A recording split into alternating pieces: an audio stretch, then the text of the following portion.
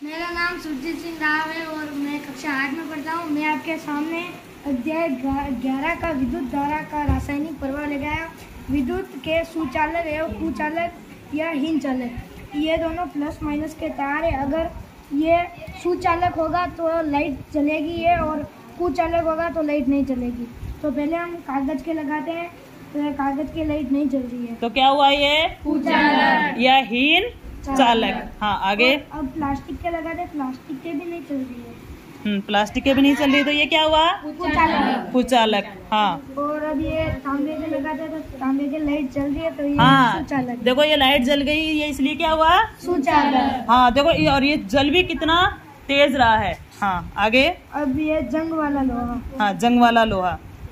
जंग वाले लोहे है इससे भी अपना करंट नहीं आ रहा। अगर करंट कम मात्रा में होगा तो इसके आर पार नहीं हो पाता है। हाँ आगे। ये शुद्ध लोहा हाँ जलाओ। जली? तो क्या होगा? सुचालक। हम्म। लकड़ी। लकड़ी। क्या होती है भाई लकड़ी?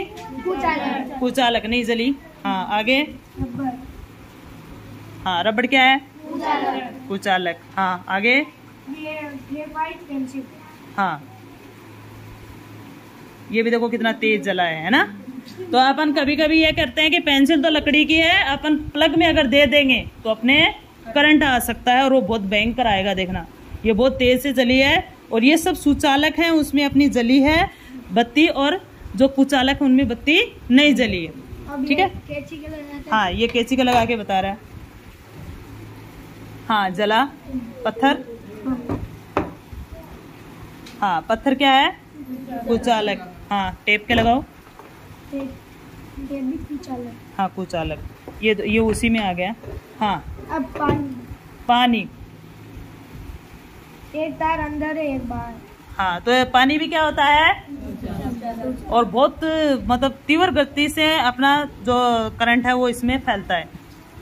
वेरी गुड और हाथ में लगाते थे लाइट हाँ देखो इंसान के अंदर भी करंट होता है नहीं होता है इसके है। चलो जला के बताओ। जली है लेकिन इसकी मतलब थोड़ा कम जल रही है है ना?